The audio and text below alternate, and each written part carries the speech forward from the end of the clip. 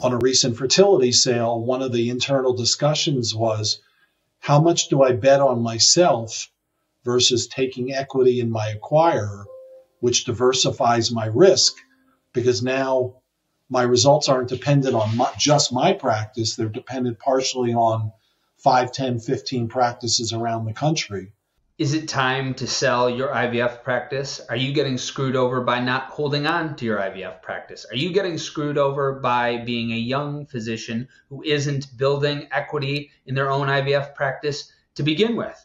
I visit these questions with my guest, Richard Groberg. Richard has been on the show before. He's been a chief financial officer. He's been a for hire financial advisor to help practices on the sell side to sell their practices and to value them. And together we review a paper by the Yale School of Management that visits the pros of a long term hold of a business when it might make sense to sell, though I think Richard's commentary is a lot more in depth and interesting than what the paper has to that particular point and the different things to consider when you're building an asset versus just trying to flip one. For those of you that have practices that are thinking about selling right now, this paper and this review is hopefully of good use to you. I try to get more advice from Richard for younger docs than is offered in the paper. And we also get Richard's insights on what he sees happening in the marketplace now as practices are selling. Are they selling at rates as high as they were? Are is the buyer side starting to slow down? Are volumes starting to slow down? What returns some practices are still getting? We get those today. And so I hope you enjoy this visit again with Richard Groberg. Mr. Groberg, Richard, welcome back to Inside Reproductive Health. It's good to be back, Griffin. Thank you. You were a popular guest the first time. I wanted to do this in a live event with you. I've just been so busy. I I tell you audience I will do a live event with Richard at some point so that you can come on and ask questions directly while we're talking. I still want to do that, but in the meantime, I had to have Richard back on. I was so I was so chomping at the bit to talk to him that before the interview starts, Richard says, "Hang on a second, how are you?" it was, it slowed down and and caught up for a little bit. But today we're going to talk about the nature of long term holds, particularly talking about a paper that came from the Yale School of Management on building a business or buying a business and then holding it for a long time. This is mostly about building a business and then holding it for a long time, as opposed to selling it or flipping it. And uh, so I want to go through this with Richard because I think a lot about the younger docs that are not building equity themselves by by building a practice and then getting, getting multiples down the line and i don't know how much this consolidation happening in the field helps or hurts younger docs. I have heard arguments made for younger docs that they are able to buy into things that will be worth a lot more and then sell for a lot more later. But I don't know. So we're going to review this paper together. So uh, and and bring up some points for all of you, and then we'll share this uh, paper for you in the show notes so that you can review it yourselves. But let's talk, Richard, about buying and, and holding a business. And then we might be able to also talk a bit about some things that, that are either accelerating or decelerating in, in the field. Maybe it's good time right now. But in your view, uh, how do you how do you summarize the pros and cons of holding a business? Well, Griff, I'd actually unpack this article from two perspectives if I'm putting on my pure corporate finance numbers guy hat on. One is every year my business makes money. What do I do with those profits? Do I do I pull it out? Do I invest in something else? Do I buy a new sports car or do I reinvest in my business? And the second aspect is when do I sell? And I think whether you're in the fertility business or another business, to the extent that you can reinvest your profits to grow your business profitably, it always adds value. Whether you're adding another doctor to fund growth, you're opening a satellite, you're buying equipment, you're expanding your facility. If over a period of time, that endeavor generates a higher return than the cost, you've added value to your business. And some of the great success stories in the fertility industry, Shady Grove, Boston IVF, others, um, CCRM in its early days, have added value by reinvesting in themselves and growing. Um, as long as you can earn a higher return than the cost or alternative investments, that always is a positive, especially in owner operated businesses. The second aspect is the whole concept of do I sell or do I continue to grow my business? And that's related to the first answer. If you can reinvest in your business and generate an incremental return above your cost relative to the alternatives, you're going to be, be better off in the long run. Now, there are some caveats that the article talks about, which I'll double back to in a minute. But if you continue to grow your business versus, okay, I want to sell, like the article talks about, I have to pay lawyers, I have to pay accountants, I have to pay advisors, I'm going to have taxes.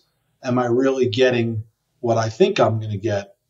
And again, some of the great success stories in American business and in the fertility industry are companies that have held long term. Um, now that that can change. When you and I talked in January, the market for PE backed groups buying fertility practices was heating up. Multiples were increasing. And when someone wants to pay you 9, 10, 11, 12, 13 times your profit, and there are other factors that make you think about selling. I'm getting older. Um, I don't want to be left out of the corporate consolidation. I have leadership issues. Um, I need help with renovations. It's hard to resist that. Um, but as the market pulls back, which it is now, uh, people I'm sure are rethinking do I really want to do this now or, or do I continue to grow my business? So there can be conditions to sell, and that is part of the second part of the equation that you're talking about is when do people make this decision but you also reference the first part of growing the business investing in the business. Every year it's making money. What do i do with the profits? Do i invest it? Do i take some of it out? How much of each? The paper starts with this thought exercise and it's an anecdote but it's useful for people to think about which is think about where you're from. And our audience is from 75% is from all over the US, another 7% or so is from all over Canada, another 6% or so is from all over India, and then everyone else is from uh, all over the rest of the world. And so think about wherever you're from. Think about the wealthiest people where you are from. Are they employees of a larger company? Did they do they flip businesses one after another, or do they have at least one major enterprise of which they're still the, either the largest shareholder or, or, or, or some kind of plurality shareholder? And I think of Buffalo, New York. There's only there's only three billionaires in all of Buffalo, Richard. So my list is a lot easier than somebody from Dallas or somebody from Las Vegas like yourself. But in, in Buffalo, there's only three billionaire families: the Rich family, which owns the very fortunately named, by the way, right? That owns Rich Products. Uh, there is the Pegulas who own, uh, who now own Pegula Sports and Entertainment, which owns the Buffalo Bills and the Buffalo Sabres. Uh, but they've held interests in uh, their energy company is escaping me at this point, and the Jacobs family, who some of you know, uh, the Jacobs family for owning the Boston Bruins, but before that they own Delaware North, which is one of the largest concession companies in all of the world, and they still do.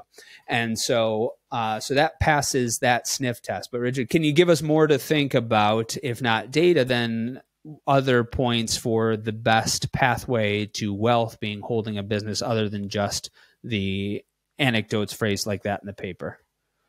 Well, some, some further anecdotal examples um, in our industry. Um, most of the transactions going on in the industry, the sellers are taking some combination of continued equity in their own business and or equity in, in the in the acquirer. And if you think about some of the great success stories of people who've built businesses and sold them, most of those people are people who've made great wealth outside of ownership. The first thing they want to do is look for something to buy. Um, investment bankers, PE people, when they make their riches, they then want to own their own business. Uh, people like Griff Jones, rather than being a consultant and working for somebody else, you own your own business and continue to reinvest.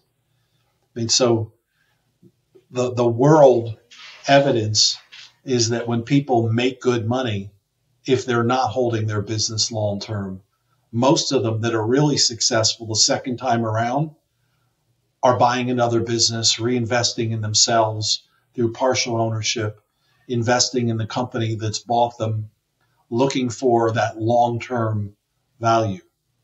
Uh, now, there are a lot of good. There's a lot of good information in that article about what it really costs when you sell your business. You think you're selling your business at X times your earnings. By the time you get done with the fees and expenses and taxes, you're not getting as much as you think you're getting, which is why, again, from a pure mathematical standpoint, if your return on reinvesting in your own business is higher than what else you can do with your money, apart from the social, the social equity value of building community and building employee relations and building community relations. It's always better off to wait as long as there's not a prevailing alternative scenario. So what you're talking about, Richard, is substantiated in the article with the 2017 version of the Federal Reserve's evidence from the Survey of Consumer Finance, indicating that U.S. wealth resides with entrepreneurs and business owners. The top 1% of wealth holders in the US derive the largest percentage of their wealth from business equity and other financial health as as a, as opposed to residential equity or retirement assets and, and you know, or people people who who earn high salaries and and get sales commissions, they don't build long sustained wealth unless they become owners or they reinvest those profits in something that gives them ownership or long term value.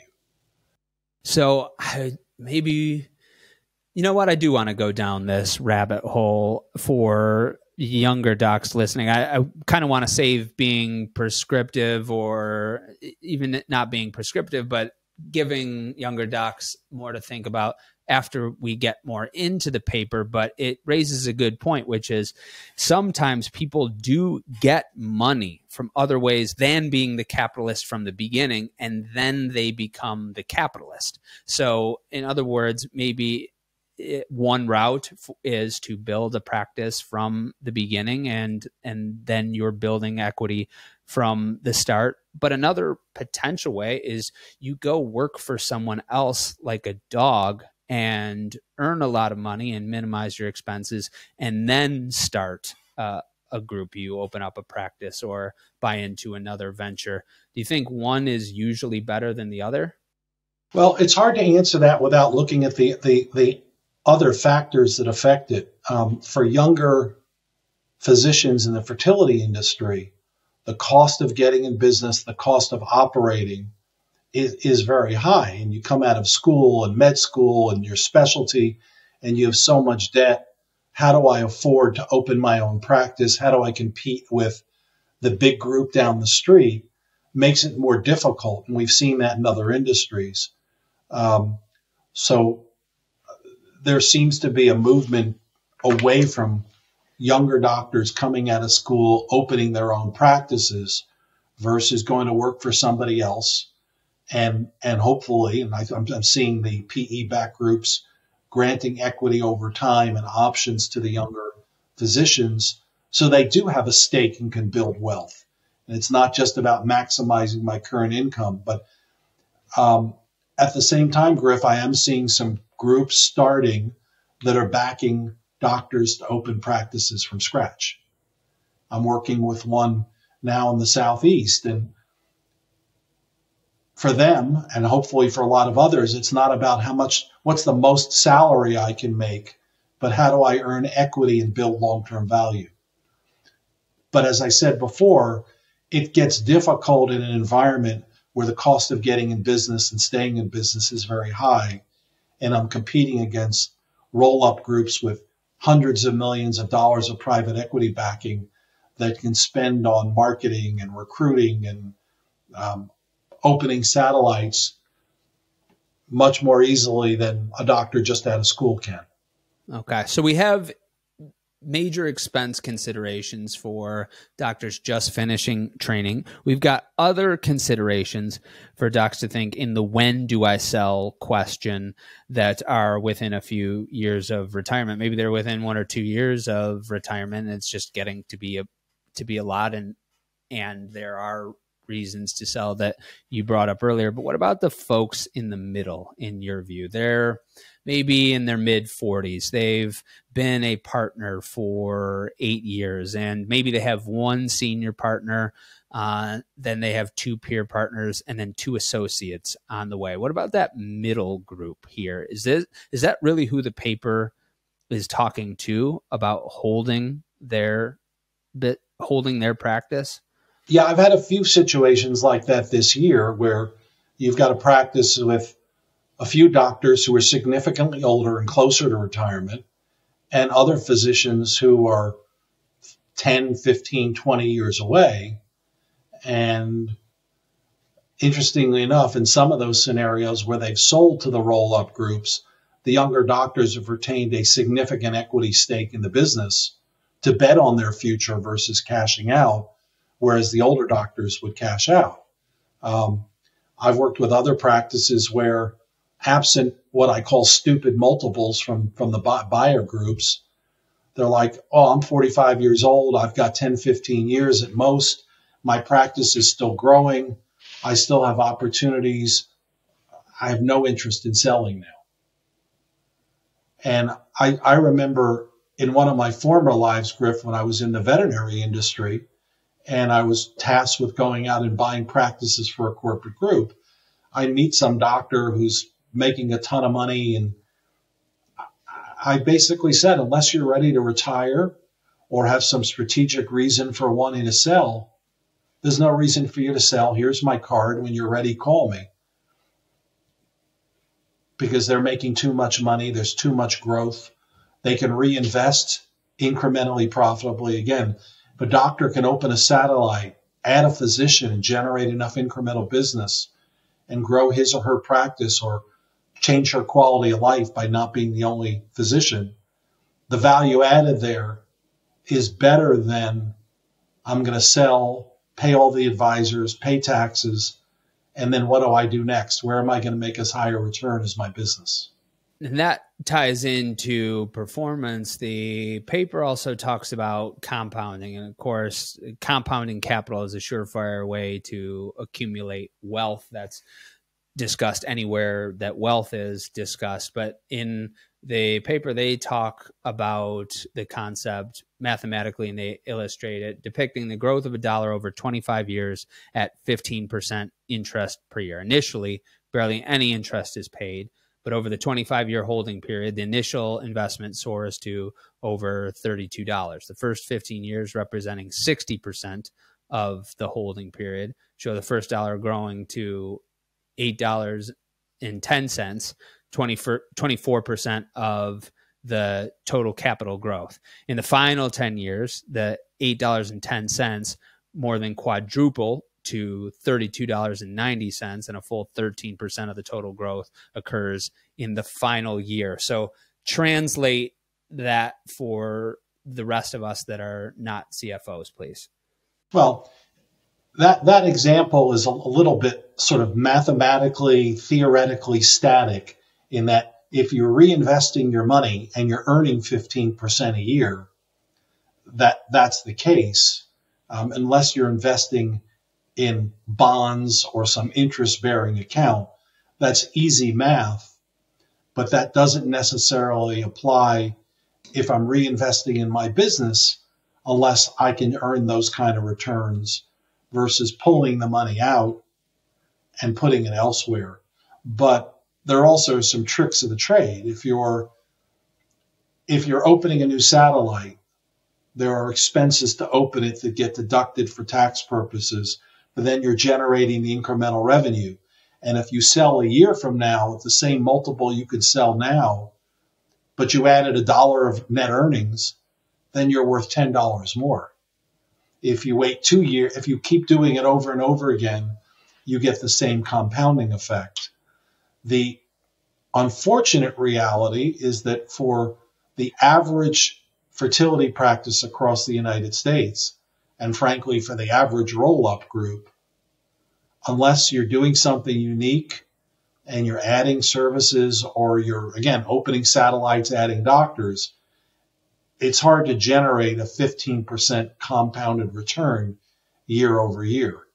Again, unless you're doing things like some of the great success stories have done, or again, companies like Engaged MD and others that are increasing their number of subscribers and increasing revenues by reinvesting constantly in marketing and salespeople and adding services.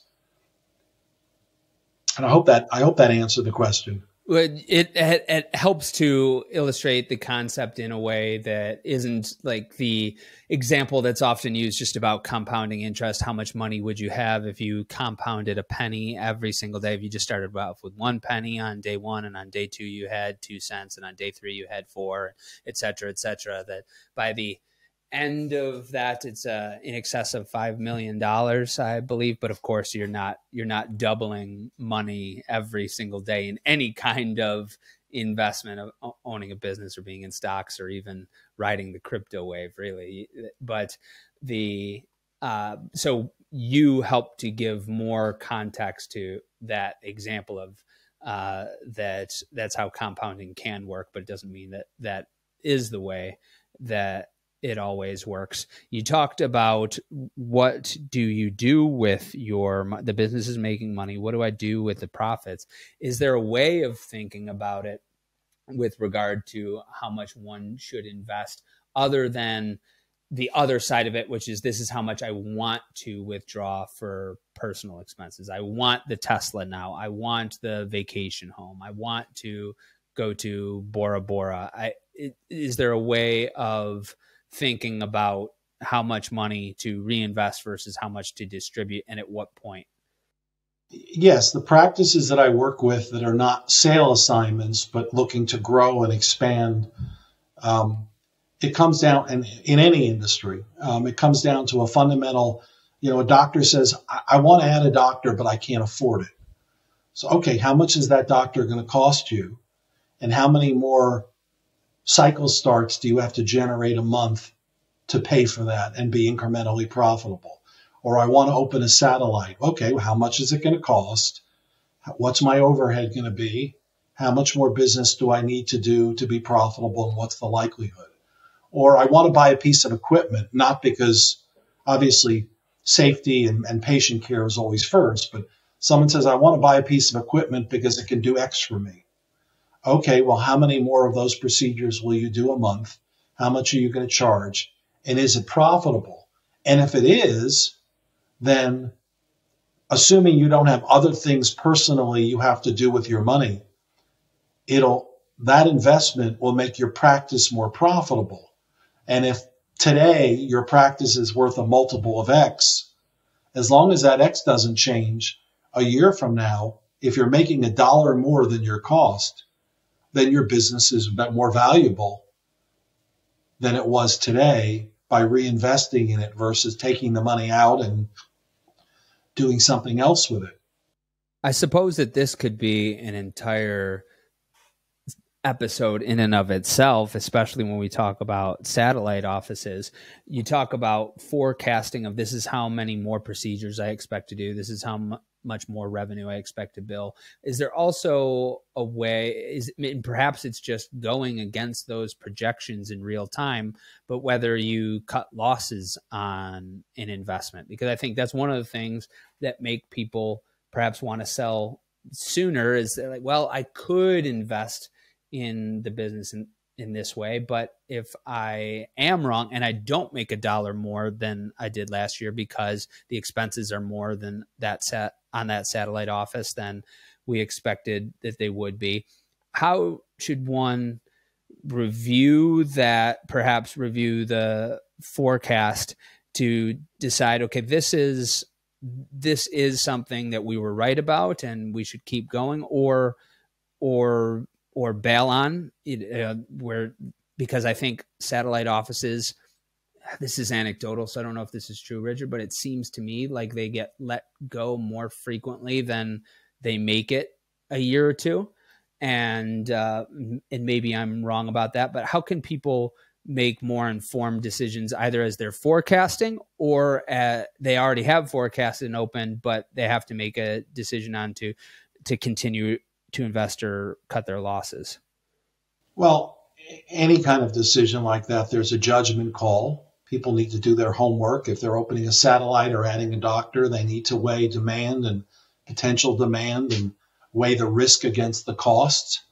Um, they need to have the wherewithal to make the investment and bear the risk that maybe instead of taking one year, it takes a year and a half or two years. But that does need to be weighed against the alternatives. I mean, I could argue the other side of it. Some people feel, you know, something, I work in this business, I make my livelihood, it pays my salary, maybe I need to diversify.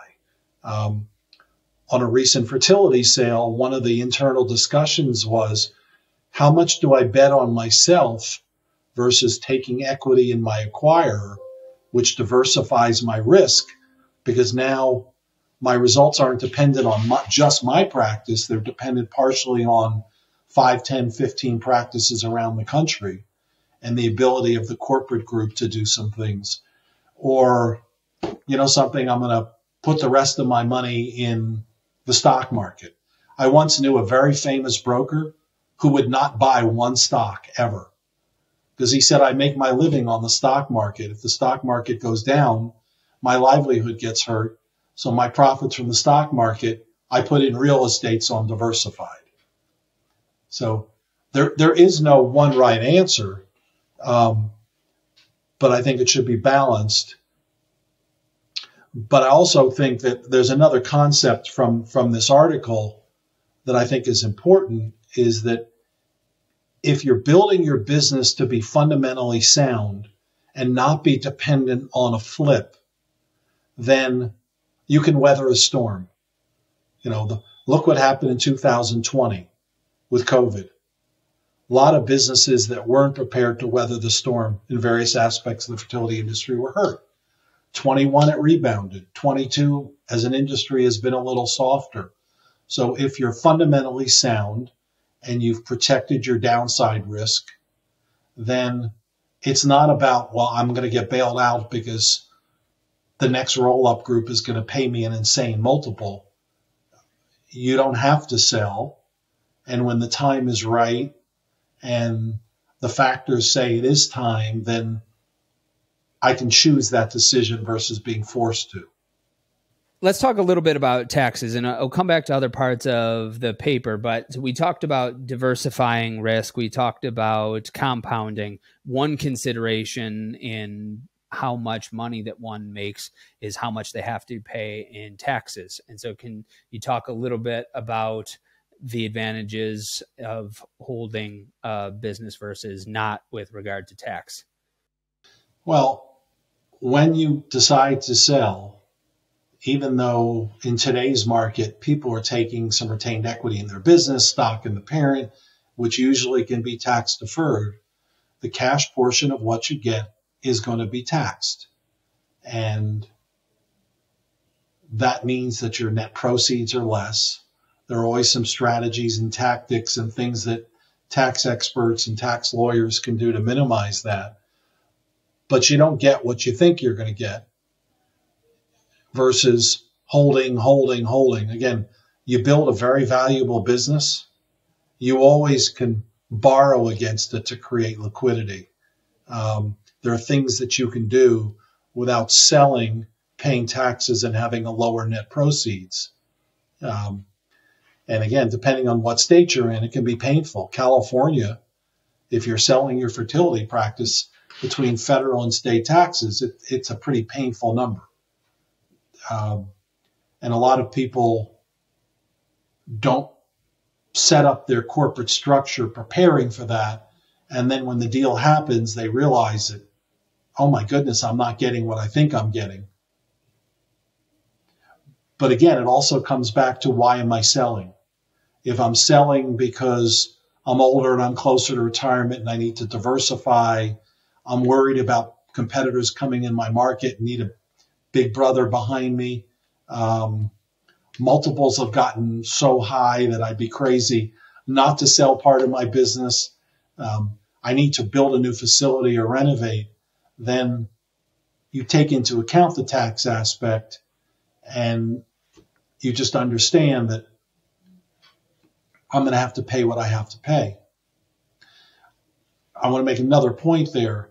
To the extent you're reinvesting in your business in a way in which you get deductions, then when you sell, some of your taxes are long term versus short term. If we go back to my example of I had a doctor, a physician, and the physician cost me, let's say it's a major urban market. By the time I got done with salary, benefits, and malpractice insurance, they're costing me over $400,000 a year. But I generate enough incremental revenue that I'm profitable, then my revenue and expenses are pro- proportionally balanced. I've made a dollar more. If my business is still worth 10x, then I've added $10 in value that will be taxed as long term gain versus income as short term. And I suppose there's also the benefit that a business owner has in in order to be able to deduct some of the expenses that we talked about in our previous episode where you were advising on categorizing as one-time expenses these are things that you know, maybe it maybe it was a business trip that was kind of a business trip, but kind of a personal trip, and and I don't even know if the paper is talking about that kind of tax advantage. No, it's not. I mean, it's like again, if if I had a doctor for and doctor costs me four hundred thousand dollars a year, and I generate enough cycles that my profits, my revenues are four hundred one thousand dollars a year. I have four hundred one thousand of revenue I have 400,000 of expense. So, but I've added $10 of value to my business if my business is worth 10x because I have a dollar more net profit with that new doctor. So I've offset the revenue. So I've got no tax impact and I've created a dollar more of long-term value to give some more context to the paper as well, they're not talking about businesses that are suffering for a long time, that aren't creating value, that have a poor investment thesis. They say that a business that has slogged through for five to 10 years without really getting off the ground should be liquidated or exit. Even then, I don't know that that's totally obvious of what that is. There could be some there there still is a, a line that's like, well, it's making a little bit of money. Is it worth getting rid of and moving on to doing something else? Uh, but the, what they're talking about is a healthy business with a tenable investment thesis that is improving their revenue consistently. Should not be sold just because of you know you know a 60 month period of up and down. What they are talking about in terms of a really good business to hold on to is one that is capable of generating mid-teen returns on equity for at least a decade with a path forward for equally desirable returns. In your view, from looking at a lot of clinics' books, are they doing better, worse, or around that? As a general industry, 2021, I would have said yes in the post COVID recovery most of the industry statistics say that in 2022, in general, no. Um, of the eight practices that I'm currently representing one way or another, some are growing significantly, um, some are relatively flat, and there's a whole host of reasons why. So every business is unique in that regard. But as an overall industry, they're not growing that dramatically, which, by the way, is part of why recently the PE backed roll up groups are starting to pull back from being as aggressive, lowering their multiples that they're willing to pay. And some of them have even temporarily paused in the market because the growth does not support the valuations being paid because practices aren't growing double digit like they did in general in 2021. So there's a bit of a I don't want to call it Jekyll and no, I wouldn't. So there's a bit of a catch 22 in that if you want to diversify and reduce some risk by selling at a higher multiple because you're not doing as well as you were last year, well, the buyers are also seeing that. And so there may have been a six month window where there, people could have said, you know what, I probably only have about two years left or three years left, and I don't know how long this slower growth or flatlining will continue. But now buyers are potentially seeing that as well from what you can tell. Yes, I mean if, if I'm a if I'm a fund that invests in the PE back roll up groups, between a slowing economy and slower growth in general, the fertility industry and higher interest rates, you know, how do I justify the valuations I'm paying? Now, having said that, the, and we talked about this last January in our podcast, the premise that one of these groups will find some economies of scale and value added above and beyond an individual practice that hopefully will make the corporate group and the underlying practices more profitable over time than just going it alone. But like any other investment, um, stocks get overvalued and they eventually correct back to a rational place. And that's going on now because just like the individual practices, the corporate groups have to ask themselves the question if I'm reinvesting all my profits to buy more businesses, am I generating a higher rate of return than doing something else with the money? It applies to everybody all the way up and down the food chain.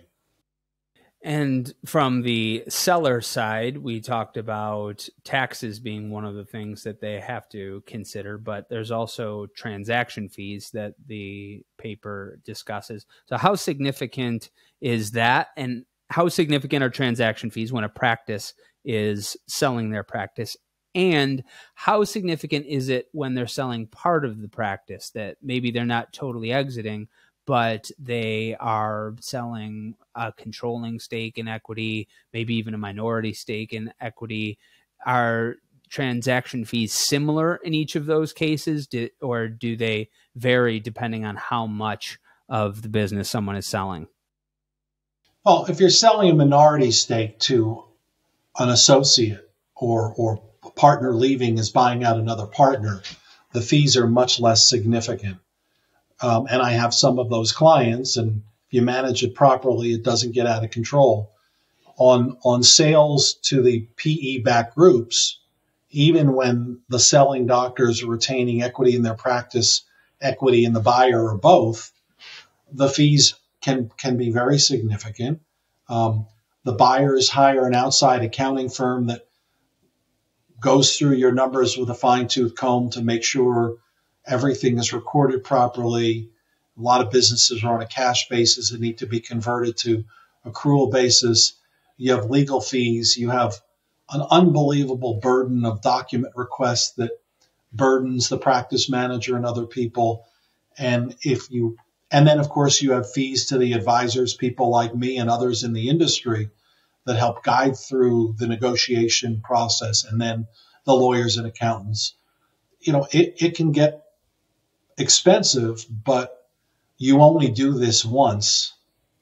So making sure that you've got good counsel and good accountants and good advisors is worth the investment if, if it's not getting out of control. Because if you're still going to own part of your practice afterwards, you got to wake up the next morning and know what the deal is with the person you're now working with, as opposed to being on your own. Well, so do you only do it once, or is there more transaction cost to consider? If I'm selling a controlling stake in the practice now, I'm selling 60% of the practice, I'm retaining 40. Do I have to expect the same transaction cost to be incurred the next time when? No, because what typically happens is, let's say one of my recent transactions, that was a, a multi doctor practice where two of the doctors were older and closer to retirement, but there were younger doctors. They sold the practice. They took some equity in the parent and they took back 40% of the practice going forward, uh, which deferred a bunch of taxes and gave them an incentive to grow their practice, but also gave them the diversification. The documents themselves were such that when one of them is ready to retire or a new doctor, physicians coming in that they want to sell some equity to. The documents were so thoroughly negotiated that there might be a little bit of legal work internally, but not to the extent of I'm selling all over again. Do you want to talk about the idle cash? Because I don't, I want to, I wanted to ask you about it, but I don't totally understand it. The idle cash part of the paper. Yeah, I mean, especially if a business is expanding and taking risks like you talked about before. I think it's important to keep reserves in the business in case things don't go well. Um, but if you keep too much reserve in the business, it's it's what's called dead money. Um, so if if if interest rates are one or two percent, you're keeping a whole lot of money in the business you have to say to yourself, well, if I pulled that money out, what else could I be doing with it? Could I earn a higher return somewhere else versus just letting it sit there and not be reinvested or earn a return? But again, it's very important, and I'm a big believer that businesses should have some cash reserves because you never know what's going to happen. You never know when the next COVID happens or you get seven feet of snow in Buffalo and you can't open for a week. Or, you know, I had some businesses in Staten Island where they had the hurricane come through a few years ago and they got flooded and took six months to get insurance money. So again, there's no black and white there, but cash just sitting there not doing anything isn't earning you a return. So I think what the paper is talking about here is that there's also a risk of of the opposite of that, Richard. So that if once you if you do sell a business, you don't want to just have it do nothing and, and not compound, but there's a risk in the redeployment of that cash that finding a new business to start or purchase is hard work. It requires a lot of time, and there's also a high possibility of false starts. So you have something right now that's making money. Maybe it's making 10%, maybe it's making 5%, compounding year over year. Maybe, maybe some years you're doing really well. But if you sell it and then you have to make the decision of, well, it's not it's you know, it's going to make 1 to 2% in a savings account. What do i do with this money now in terms of how i redeploy it? It takes a long time to start another business or even find one that's worth buying.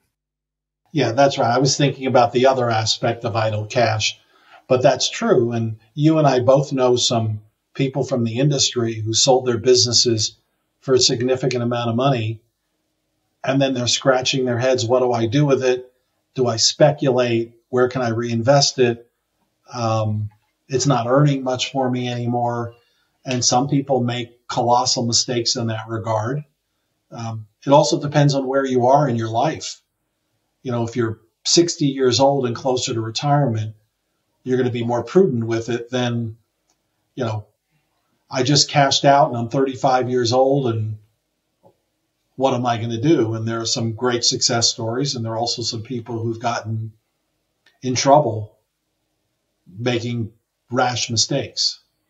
So that has to do with the redeployment risk of the money. There's also redeployment risk in choosing a venture. So if you have a practice that's doing really well, maybe think, you know what, I can sell the practice right now, and then I can start a company that – maybe I start a surrogacy agency or I start an AI company or I start a finance company for fertility cycles that uh, I'll just take that money and I'll I'll start the next venture.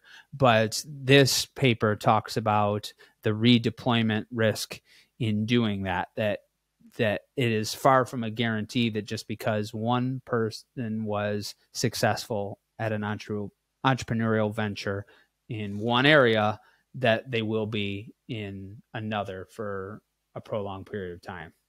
Right. And you just brought up a good point, which is the redeployment of human capital versus financial capital. Someone who started and ran their business and made a lot of money. Again, there are two aspects: is what am I going, what, where am I going to redeploy it, but where am I going to redeploy my expertise and my passion? And sometimes those two can be in sync, and there's some great success stories when that's happened. Think about Mark Cuban, um, or some people in our industry who've done things successfully one time and then redeployed in a different area, and there are others who where it doesn't translate.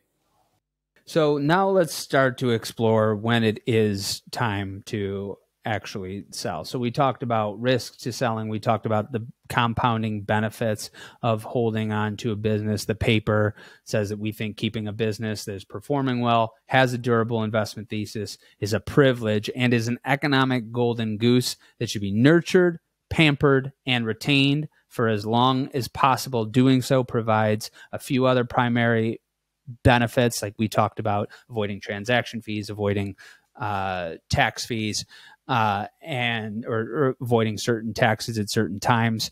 Uh, but as you mentioned, there still can be a time to sell. So let's pretend all of these things are the case, Richard. That that things are still going well. Is there is is it still is there still a time to sell? And let's pretend everything was like how you saw it in 2021 and it was year after year after year. Is there still a time to sell if things are mid-teen compounding returns every single year? I think there are a combination of factors which lead people to sell. And this year, even with the market now pulling back, there are still people doing it. It's usually not one reason, but a combination. Physicians who are getting closer to retirement, thinking about retirement, diversification, um, concerned that they don't want to go it alone. Um, some of the big groups are going to come into my market, and while I'm still growing and doing well, I, I need a I need a strong partner to help me. Um, I need to renovate my facility or build a new one. I'm having a hard time recruiting.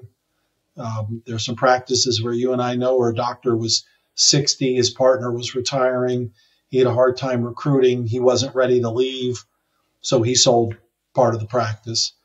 Um, or, or the practice has problems that the current leadership can't solve, that perhaps.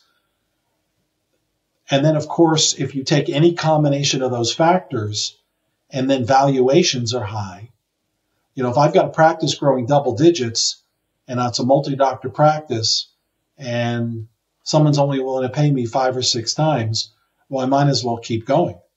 But if I have a multitude of those factors that are weighing on me, and valuations are still strong, and some of the subjective factors meet my objectives, well, then it's still time to sell.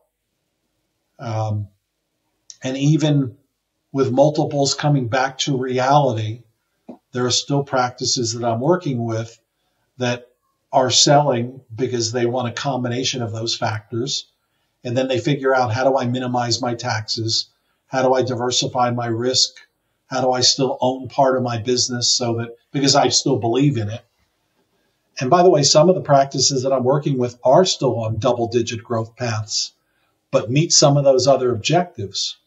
And their attitude is, well, if the price is reasonable and I have the right partner and I still retain part of my business, it makes sense to do it.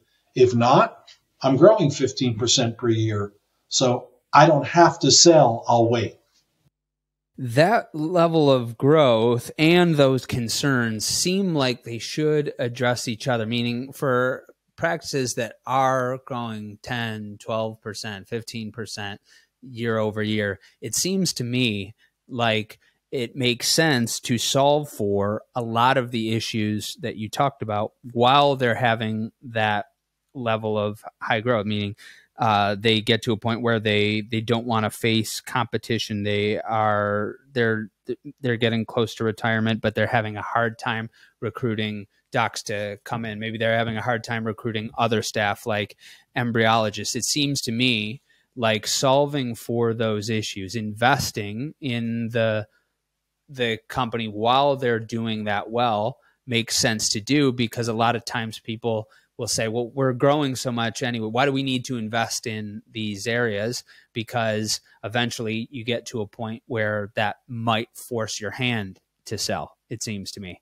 And it seems to me that if they do invest in those areas, that they're not as pressured by this sale. And it answers the some of the question of how much do I reinvest in the company right now?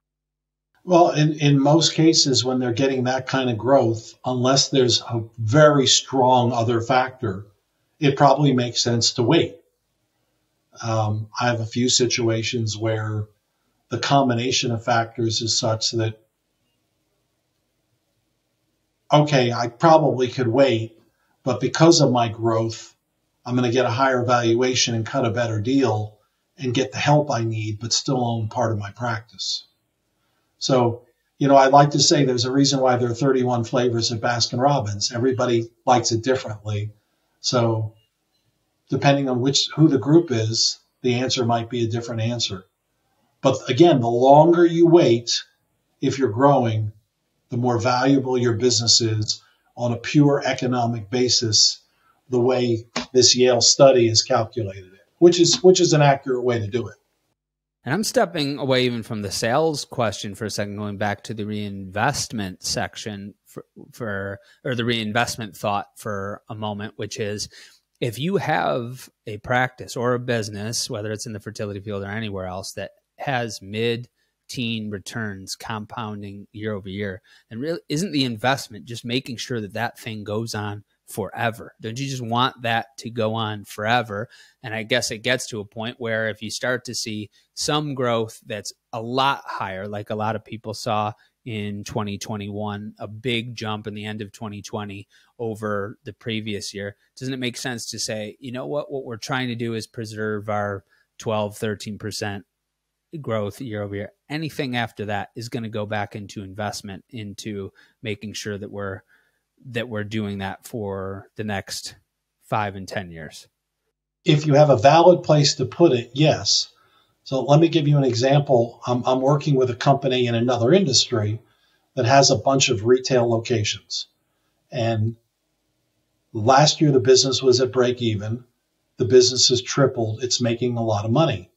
Every dollar has been reinvested this year to open more locations to replicate what it was doing. And by the end of the year, it'll have twice as much revenue and be twice as profitable. And instead of pulling out $3 million, that $3 million is being reinvested and probably created $10 million in value to the owners. Now, a year from now, the investment proposition may not justify reinvesting. So you, it, there's, you have to reevaluate all the time whether I can make more by reinvesting than doing something else with that money. So those things are immediately obvious in terms of where you could reinvest your money. There's other things that maybe work, but aren't as obvious as if we open up in this location, we'll get this many more patients right now, or we could hire this doctor right now and see this many more patients and do this much more volume. But I think of things like oh, if you were doing really well in 1996, maybe you didn't need to buy a website and invest in having a, a website, but by the year 2000, you you needed to have it. So do it in 1996, even though it's not a place where you have to put your money right now, but in a few years it will be, or social media in 2012, let's say, but then by 2017 or 18, it was you're not attracting nearly as many patients if you don't have that, and or all of the things that are necessary for recruiting young docs that uh, might not be a place that we have to put our money right now. But in order for us to not become the older group that has a hard time competing for the newer talent, we have to make a couple of changes. So, what about those investments that good point that aren't as immediately obvious? So, if I put my financial geek hat on, and someone says, "Look, I need to hire Griffin. I need I need to build a new website. I need to have a marketing campaign. I need to figure out how to convert more of my leads into into into actual cycles, new patients and cycles. At the end of the day, while there's not a black and white answer, you still need to I would do the financial analysis. What's it going to cost? And over time, is it going to generate more more patients for me, which results in revenue, which results in profits, which makes my business more valuable? Um, and those often are not short term decisions. But if I've also seen the other side of the equation where someone spends money on something that feels good, but if it's not going to either improve the quality of medicine, improve the quality of customer service, or bring more customers or revenue in, you have to question the economic validity of, of making the decision.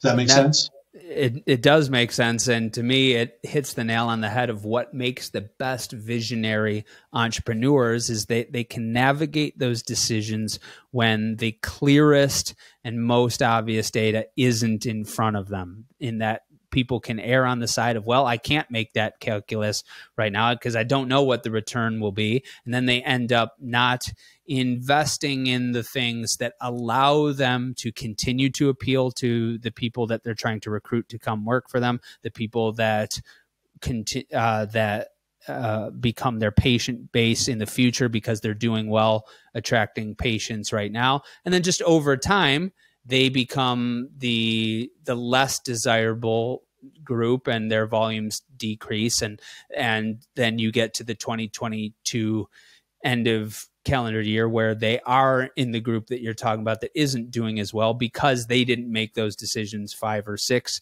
years ago and or or maybe even two or three years ago. But you can also err on the other side like you said of people that just throw money away. And uh, and there's a lot of faux entrepreneurs that do that because they say, oh, well, this is an investment. Um, and it never pans out to be one. And I think the best visionary entrepreneurs are the ones that make those decisions without erring too far on either side of the spectrum. Right. Typically, those kind of decisions, you're going to be 51% right or wrong. But you've got to think about what happens if I don't do it? Will I lose business? If I don't make this investment, if I don't update my website, if I don't figure out how to convert better, if I don't improve my lobby, um, am I going to lose business? That's the same economic analysis. It just works in reverse. Not how much incremental revenue and profit am I going to get? How much I got to lose if I don't do it? And great leadership, you can't, great leadership, you can't just live by the numbers. You can't just live by the seat of the pants and I'm going to hold my finger up in the air and see which way the wind blows. You have to look at both and make balanced decisions. And if you're taking a huge risk, you better have the wherewithal to withstand the storm. And I would define a huge risk as something that uh, that bets the farm. And if it has to do with, I'll do I just take out a bit more profit this year you don't really need to take out a bit more profit, then my gut tells me to reinvest back in the business. And that's if it's if it's something that's if you're if you're kind of on the fence and you don't totally you you don't really need the profit, then if you make five of those decisions, it's likely that one of those is going to have a Pareto's effect distribution where it's truly significant for the business. You know, and again, without revealing anything confidential, I know over this last year or so, you've done that. You've reinvested in staff and other things to expand your business and make your business more valuable by being a more robust, greater depth service provider to your, your clients. I think about the the building the business in this way of of having a, a hold asset, and that's why I wanted to uh, go over this paper with you. And and like you said that applies to me with what I'm doing with my business. It applies to a lot of practice owners. When I first wanted to talk to you about it I thought of the younger docs that have not bought in yet that are about to buy in.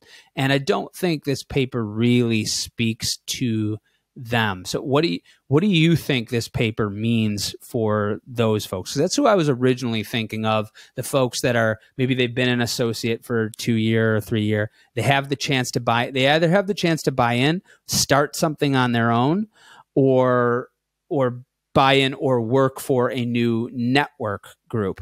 And so what do you think this long-term hold principle means for the folks that are not yet owners, but are on the cusp of potentially being owners? I think in the fertility industry and other healthcare businesses where the practitioners are the primary drivers of the business, in the long run, if you have any kind of ownership mentality, you care about your business, you want it to do well, and it's not just a job, you're not going to build the same kind of wealth just taking a salary and maximizing your income as having a piece of your own business, whether you're starting your own practice, you're starting a practice backed by one of the groups, and I've got a client doing that, or you're opening your own business. The concept applies. If you're instead of making $500,000 a year, if you're making $400,000 a year, and that other 100,000 is building equity in your business, if you believe in yourself and you're building biz value, then somewhere down the road, you're going to be worth much more money. And frankly, from a from a, a self appreciation standpoint, you've built something that's partially yours. You're better off. Now that needs to get balanced against do I open my own practice and where do I get the money to do it? Or do I work with one of the groups and make sure that they give me equity or options or those kind of things. But again, I've worked with physicians who want no part of that. But for the most part, physicians in this industry and other practitioners are so dedicated to the craft that why would they not want to own a piece of what they create?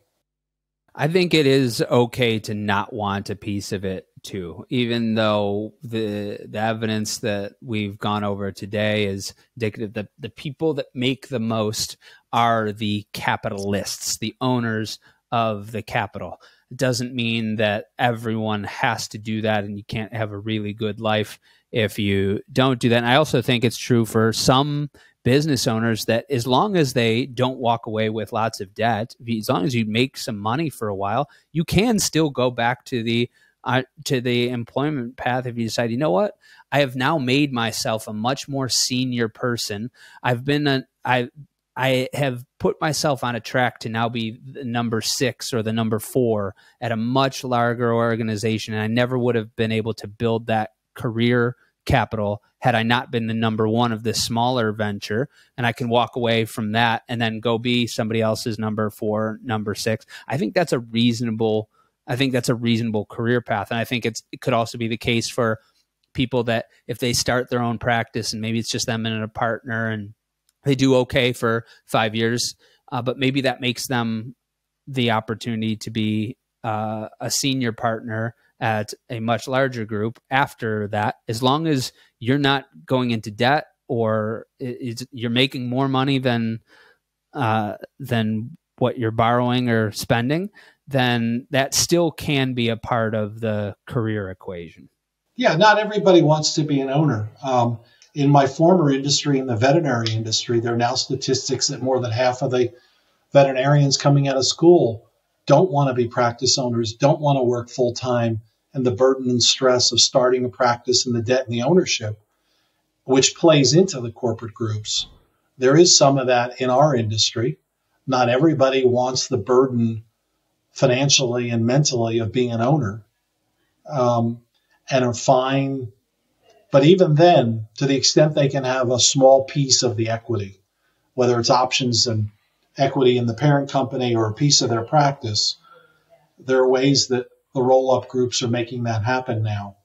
Um, but again, there's no one right answer because everybody's different. Well, I would love to have you back on for a live event where people can ask questions in real time. But for concluding this thoughts on the Yale paper, which we will include in the show notes, what would you like to summarize for the audience? I think the premise of the paper is is that if you can reinvest in your own business, and it doesn't have to be at a 15% return, at a higher return than you can do elsewhere with your business, you're you're building value, you're building community, you're building loyalty amongst your employees and constituents. And your business will be more valuable when the other factors say it's time to sell. But every micro and macro decision should be made with some thought process of what are the financial implications and the non financial implications, not one or the other. And I suppose that valuing one's time would also be a tiebreaker for that, isn't it, Richard? So if you could have a business that's doing well, but if you're working 80 hours a week and you feel that you could be doing as well working for someone else, at some point one's time is is valued in that, not just for earning potential, but also quality of life and and their time with their family and it, that is one of those factors that would lead someone to say you know something? Let me let me get the benefit of selling to another group and having them help with certain things. Take some pressure off me. You had a few people that reached out last time. We we shared your email address. Are you comfortable with doing that again? How can people find you uh, absolutely uh, i can be reached at Richard Groberg at outlook.com I'm on LinkedIn as well. And your podcast is so well viewed and received that I had a number of calls. I picked up a number of assignments to work with fertility practices, both in the United States and surprisingly from Europe. So I think that's a testament to your reinvestment in your business to continue to grow it. I appreciate that very much, Richard, and I appreciate uh, being able to cover these topics. And I look forward to having you back on to cover them some more. Richard Groberg, thanks for coming back on Inside Reproductive Health. Thank you. It was my pleasure. You've been listening to the Inside Reproductive Health podcast with Griffin Jones.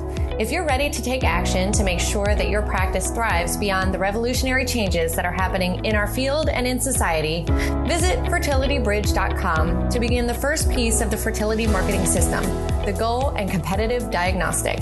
Thank you for listening to Inside Reproductive Health.